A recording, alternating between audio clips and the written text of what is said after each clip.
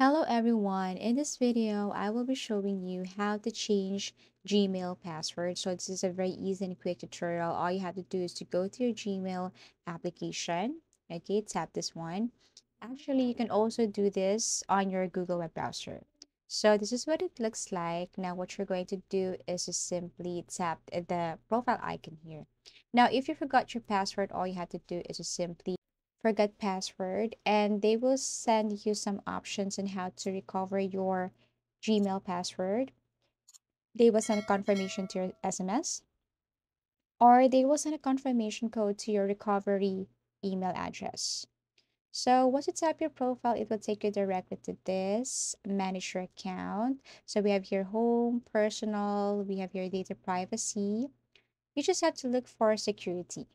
Now scroll down and look for password. So when you tap password, it will take you directly to another page. They will ask for your current password and they will ask for your new password. And all you have to do is to confirm that one. So you have to make sure that it's not the same password and it's easy to remember. Okay, so here it is. And then you just have to tap change password and it will change your password. That's how easy it is to change password or change Gmail password. Thank you for watching and see you again in our next video tutorials.